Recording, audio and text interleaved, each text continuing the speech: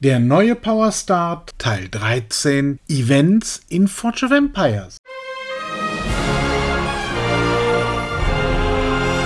Im vorhergehenden Video habe ich aufgezeigt, wie einfach die Event Quest Reihe gerade in den untersten Zeitaltern zu bewältigen ist. Die Aufgaben sind besonders einfach und gehen rasch von der Hand. In den meisten Fällen sind Dinge zu machen, die wir im Zuge der Entwicklung der Stadt sowieso gemacht hätten. Man muss es nur zur richtigen Zeit und in der richtigen Reihenfolge machen. Dabei hilft es, wenn man alle Questaufgaben kennt. Zu jedem Event gibt es immer ein Video in diesem Kanal. Unter dem Video stehen dann jeweils alle Questaufgaben. Das erlaubt eine optimale Vorbereitung. Dem aufmerksamen Zuschauer wird aufgefallen sein, dass von nun an die Bildauflösung wesentlich besser ist als in den vorhergehenden Folgen. Mein Sponsor Huawei App Gallery hat mir ein neues Smartphone gegeben. Dieses Huawei P30 Lite hat ein Display mit 40% mehr Pixeln als mein altes iPhone 6. Damit werden nun auch die Videos mit besserer Bildqualität aufgezeichnet. Vor allem bei Kämpfen hatte ich vorher das Problem, oft mit meinen dicken Fingern daneben zu tippen. Das ist nun vorbei. Obwohl so ein Smartphone inzwischen nicht einmal mehr 200 Euro kostet, hat es doppelt so viel Speicher und wesentlich mehr Rechenpower. Das erleichtert mir meine Aufzeichnungen sehr. Im Event schlage ich das erste Mal zu, als es das Altargarten-Auswahlset als Tagespreis gibt. Das ermöglicht den Bau des Altars der Athena, ein winziges Gebäude mit täglich drei Fortspunkten, also ideal für neue Spieler, zumal man nur wenige Kits dazu braucht. Man muss in jedem Event schauen, welches Eventgebäude sich am besten eignet.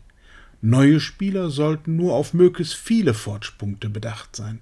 Solange die legendären Bauwerke Zeus-Statue, Aachener Dom und Castel del Monte nicht alle drei bereits auf Stufe 10 sind, kann man mit Forge-Punkten wesentlich mehr erreichen als mit Eventgebäuden, die vor allem Kampfboni bieten.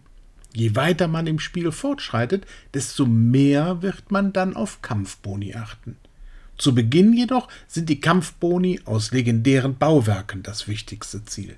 Ich setze alle bis dahin gesammelten Bälle im Minispiel des Events ein, bekomme einige Auswahlkits als Tagespreis und baue anschließend zwei Altare der Athena.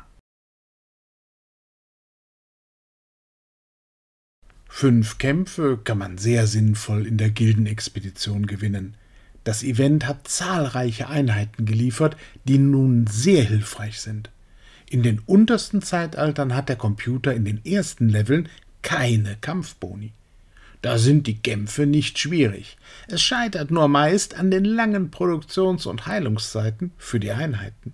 Mit den vielen ungebundenen Einheiten aus dem Event kommen wir in der Gildenexpedition sehr zügig voran. Das bringt dann nicht nur weitere Belohnungen, sondern erfüllt auch die besagte Aufgabe der Event-Quest-Reihe.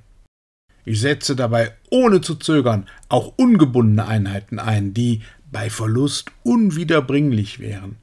Helden und Fahnenwachen werden mit höheren Zeitaltern immer unbedeutender.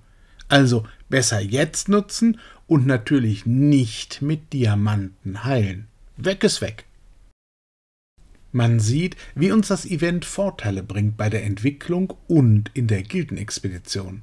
Und wir diese Vorteile dann wieder einsetzen können, um im Event schneller voranzukommen. Und Stufe 1 der Gildenexpedition abzuschließen ist auch wieder etwas, was eine Aufgabe der Event-Quest-Reihe erfüllt.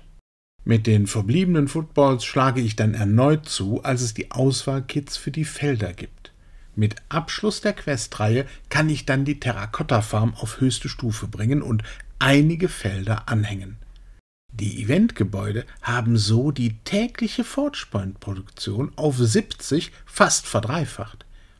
Das ist es, was ich zu Beginn meinte, als ich betonte, Events seien der beste Entwicklungsbeschleuniger für neue Spieler. Nicht allein im Schreiben, Lesen übt sich ein vernünftig Wesen, sondern auch der Weisheit Lehren muss man mit Vergnügen hören. nicht nur einmal ein Video sehen, sondern den Schritt weitergehen. Also lautet ein Beschluss, dass man abonnieren muss.